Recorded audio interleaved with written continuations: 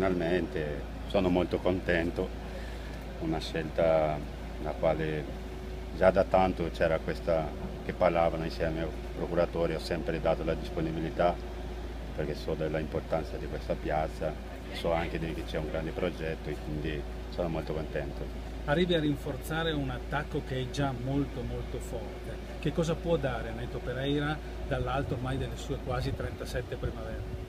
No, non posso dare la disponibilità perché sono qua per dare una mano e quindi sarò molto disponibile per quello che avrà bisogno il mister e quella è la cosa che penso che tutti la metteranno per, per cercare di fare bene.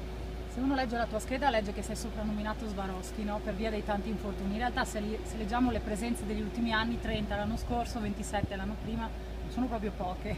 No, no, eh sì. Questo è iniziato qualche anno fa con, questa, con questo soprannome, però come hai detto infatti i numeri non è che sono proprio così.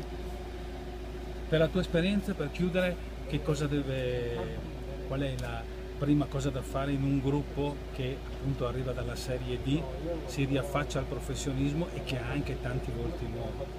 No, noi nuovi dobbiamo capire subito, entrare subito nel, nel modo, nel sistema che c'era prima, perché ho visto che qua l'anno scorso c'era un, un gruppo molto unito infatti è stata la base della vittoria. Noi nuovi dobbiamo mettere a disposizione di questi così riusciamo a fare il prima possibile, metterci Trovi...